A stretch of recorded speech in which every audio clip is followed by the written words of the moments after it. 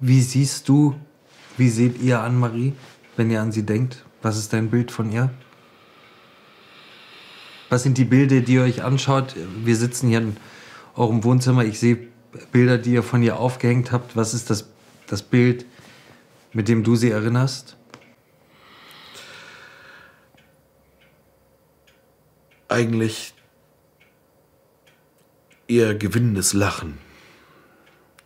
Das ist auch das, was mir momentan am meisten fehlt. Sie ist mit mir morgens immer in die Firma gefahren, um dann weiter zum Bahnhof, zur Schule zu gehen.